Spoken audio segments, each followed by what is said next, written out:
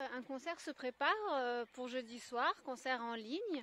Oui. Euh, quelle est l'idée vraiment de ce concert? Parce qu'on a vu que quand même, euh, enfin, ça passe par Disney et du Disney, on va aller au minimalisme. C'est quand même euh, surprenant, quoi. Donc, euh, Ouais, c'est vrai, on a essayé avec le festival Mille et une notes de faire un concert qui soit le plus ouvert possible, de décloisonner la musique, de mettre à l'honneur les musiques, les publics, de faire des découvertes, que ce soit pour tous les types de publics, de voir que certains Disney peuvent être vraiment beaux, des Disney peuvent être inspirés de grands classiques de la, de grands classiques de la musique classique, justement, euh, je me suis un petit peu perdu.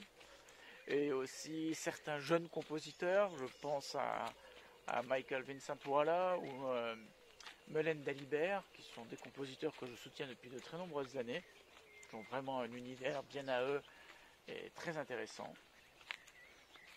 Et aussi euh, d'autres euh, d'autres œuvres comme euh, la musique de- des pays nordiques ou même la musique de jeux vidéo.